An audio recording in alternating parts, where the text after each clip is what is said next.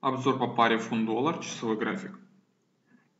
Вчерашняя торговая сессия для данной валютной пары была достаточно волатильной, и можно было заметить спокойную торговлю в азиатскую сессию, активное снижение в начале а, лондонской, европейской сессии и по достижению а, локального минимума сессии. Также это было достигнуто тот момент пересечения как а, уровня поддержки на тот а, момент ближайшего 1.2414 и достижение, э, это достижение совпало с пересечением э, линии поддержки самого восходящего тренда, что также регистрируется на часовом и 4-часовом графиках.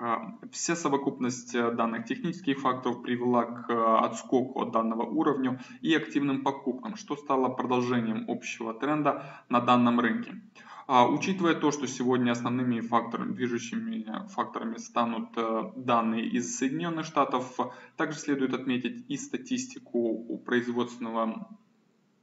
а, сектора Великобритании, что будет опубликовано в 11 часов 30 минут. А, данные производственного сектора также ожидается на более высоком значении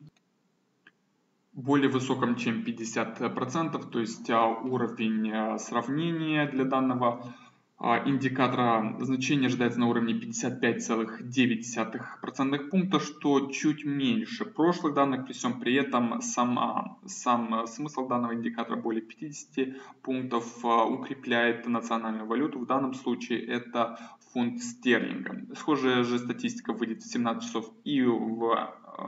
для американской экономики, но учитывая американскую сессию, здесь стоит отметить, что основным упором будет, безусловно, данные от э, ФРС, а именно процентная ставка и доклад э, Комитета по открытым рынкам э, США.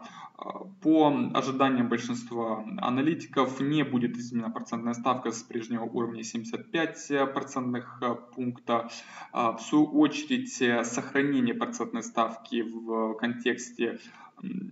недавних событий, именно связанных с политическими изменениями Соединенных Штатов, а также о росте реального сектора экономики, который оказался слабее в четвертом квартале для Соединенных Штатов, показав рост лишь в 1,9%, в то время как в третий квартал был зарегистрирован рост в 3,5%. А все данные факты выступают за то, что будет сохранена на прежнем уровне процентная ставка, что и приведет к дальнейшему краткосрочному, как минимум, ослаблению американского доллара на большинстве валютных рынков. И для данного для данной валютной пары, пары это многовероятно приведет к отскоку от данного уровня поддержки 1.2542 и к дальнейшему восхождению как минимум к уровню а, максимума а, прошлой э, недели в районе отметки 1.2673, где рекомендую фиксировать прибыли по покупкам.